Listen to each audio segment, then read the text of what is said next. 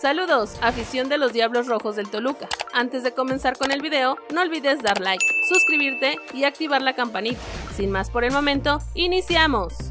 Toluca perderá a Areto Ortega de 8 a 10 semanas. Luego de someterse a estudios médicos, el defensa Areto Ortega se tendrá que someter a una cirugía de rodilla y por esta razón será baja de Toluca entre 8 y 10 semanas, por lo que prácticamente pierde casi toda la fase regular del clausura 2023 y podría volver hasta las últimas jornadas o en la liguilla. Toluca informó mediante un comunicado que Areto Ortega presenta lesión en menisco lateral de la rodilla izquierda, programado para exploración artroscópica y reparación de lesión maniscal. Así que dependerá de su evolución su regreso a las canchas, pero en primera instancia, la estimación es de 10 semanas. Areto Ortega no había estado convocado a ninguno de los primeros cuatro partidos de los Diablos y fue suplente en el duelo frente a Atlas, que correspondía a la jornada 1, pero se pospuso hasta este 1 de febrero. Sin embargo, el defensa no jugó, por el contrario, tras el duelo tuvo que someterse a estudios médicos para revisión de la articulación. Se trata de una baja sensible para Toluca, pues se trata de uno de los defensas importantes en la banca de los Diablos. De hecho, no ha jugado desde la apertura 2022 y en este 2023 solo ha tenido minutos con el equipo sub-20 aunque no dejaba de ser una opción para el técnico Ignacio Ambriz en caso de que alguno de sus zagueros se lesione o sea expulsado. Por otro lado, Ambriz revela reunión con Ares de Parga. Tras la derrota 2 a 1 del Toluca ante el Monterrey en la jornada 5 del clausura 2023 de la Liga MX, el técnico de los Diablos, Nacho Ambriz, reconoció que tuvo una reunión con el director de selecciones nacionales de México, Rodrigo Ares de Parga. En conferencia de prensa, Ambriz detalló que nota una mejor estructura en la dirigencia de la Federación Mexicana de Fútbol. Fue una charla de fútbol. Tuve un acercamiento con ellos. Empiezo a ver que hay una estructura, que los dueños están preocupados, reveló. Ambris aseguró que el gran número de candidatos al TRI es incentivado principalmente por los medios de comunicación. Me hablas de manoseo, pero mucho de esto lo provocan ustedes, que si viene fulano o perengano, que si viene el señor Bielsa. Es parte del fútbol, compartió el entrenador de 57 años. Nacho dijo que a pesar de la conversación con De Parga, el está concentrado en el Toluca. Yo estoy tranquilo, trabajando con mi equipo, le debo mucho a Toluca. La plática fue de mucho fútbol, de lo que pienso como mexicano, comentó. Sin embargo, Ambriz dijo tener la experiencia suficiente para aportar y apoyar en cualquier sentido a la selección mexicana. Después de 40 años, lo que he vivido, desde un mundial juvenil, un mundial mayor como capitán, ser auxiliar de un cuerpo técnico en otro mundial, creo que tengo mucha experiencia para decir en que ayudo, en que apoyo, sentenció. Para finalizar, Ambriz resalta el esfuerzo del equipo pese a la derrota derrota contra Rayados. Rayados llegó a cuatro triunfos al hilo al vencer 2 a 1 a Toluca, un equipo que sabía que jugar contra el Monterrey sería sufrir en la cancha. Y es que el técnico de los Diablos, Ignacio Ambriz, reconoció la calidad que tiene el conjunto regio, aunque destacó lo positivo de su equipo. En el segundo tiempo jugamos mucho mejor, antes del primer gol estábamos teniendo la posesión de la pelota, intentando hacer daño por adentro y por la banda, después del gol dudamos de lo que hacemos. Con un equipo como Monterrey sabíamos que íbamos a sufrir de más, en el entretiempo los calmé, en el segundo tiempo fue de nosotros, corriendo riesgos, el equipo me gustó, jugando de tú a tú contra Monterrey, declaró Ambriz. Para Ambriz, no tener a Carlos González y que Camilo Zambetso no estuviera al 100% fue algo que le afectó a su equipo en la ofensiva. Charlie no se recuperó, Camilo traía el tobillo inflamado, hablamos con los doctores, lo tendremos la otra semana, Iván es un chico con sacrificio, que más quisiera yo tener el plantel completo, trabajaremos para recuperar, indicó.